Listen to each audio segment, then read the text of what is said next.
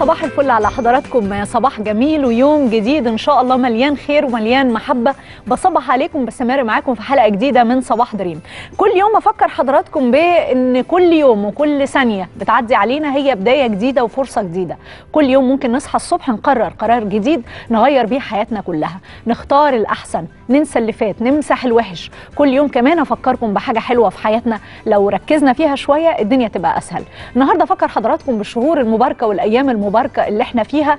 أيام فيها بركة كبيرة جدا جدا من ربنا. فيها مغفرة وفيها رضوان وفيها حاجات حلوة قوي قوي قوي ربنا بيوجدها على ظهر آه، الأرض وعلى سطح الأرض. فخليني وأنا بتكلم مع حضراتكم أفكركم إن إحنا وإحنا بنتكلم عن شهر رمضان بنقول اللهم بلغنا رمضان لا فاقدين ولا مفقودين وبلغنا رمضان على الخير يا رب.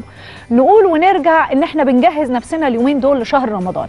وإن إحنا آه، محتاجين أهم حاجة تدخل رمضان وإنت عندك سلام نفسي وإنت عندك نقاء آه، روحك نقية قلبك صافي مش متخاصم مع حد مش زعلان من حد مش شايل في قلبك مش شايف في قلبك حاجة. الإنسان آه، بيضمن الجنة إنه ينام على فراشه وهو ما فيش في قلبه مقدار آه، ذرة من زعل أو حزن أو حقد أو كراهية على أي شخص حواليه. تقول لي في ناس بتأذيني في ناس بتزعلني في ناس بتضايقني. الحياة مليانة الإنسان خلق في كبد. لكن الفكرة إن أنت تيجي بالليل تنام على سريرك تقرر من جواك إن أنت متصالح مع الحياة كلها متسامح مع الحياة كلها لوجه الله تعالى. وتبتغي من ده رضوان ربنا.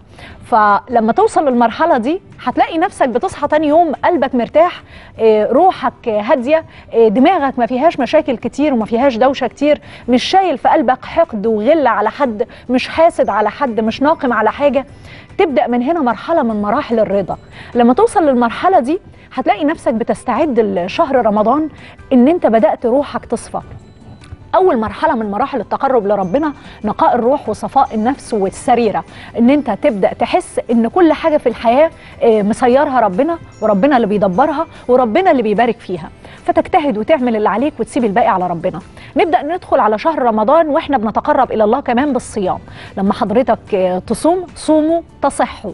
لما تصوم تبدأ تتعود على الصيام تبدأ ما تعتبرش الصيام بالنسبة لك مزعج عشان انت مش هتشرب سجاير وعشان انت هتبقى متعصب طول النهار ومحدش يكلمني بقى وسيبوني أنا ما شربتش سجاير أنا ما شربتش القهوة بتاعتي أنا ما شربتش الشاي بتاعي.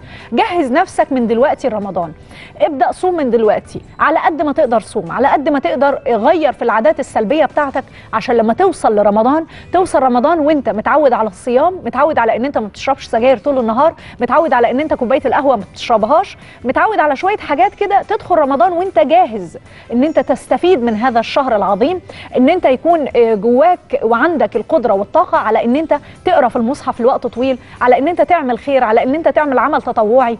كل الحاجات دي لو بدأنا من دلوقتي نشتغل عليها المفروض رمضان طول السنة طبعا. لكن عشان نكون واقعيين ابدأ من دلوقتي صوم. اوصل رحمك روح زور الناس اللي مقاطعاك أو الناس اللي ناسياك أو الناس اللي ما بتكلمكش. اتصل بالناس الحلوة اللي حواليك وخد ثواب وابتغي من ده.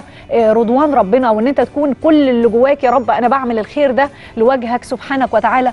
لما تكلم ربنا بالطريقة دي ولما تعمل الحاجة الحلوة من دلوقتي تدخل رمضان وأنت جاهز تستفيد من المغفرة ومن الرحمة ومن العتق من النار. يا رب بلغنا رمضان. يا رب إن شاء الله يكون عندنا القدرة على إن إحنا آه، نعمل كل اللي نقدر نعمله في هذا الشهر عشان إحنا نخرج منه كسبانين.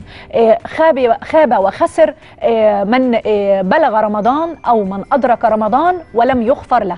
فيا رب إن شاء الله نخرج من رمضان وإحنا ربنا غفر لنا كل ذنوبنا وإحنا ربنا منزل علينا رحماته واسع رحماته. ويا رب إن شاء الله رمضان يجمعنا كلنا على حاجة حلوة ويجمعنا كلنا على الخير. وإن شاء الله نوصل رمضان بإذن الله وإحنا نفوسنا حلوة وقلوبنا صافية. بصبح عليكم وبنستمر معاكم في حلقة جديدة من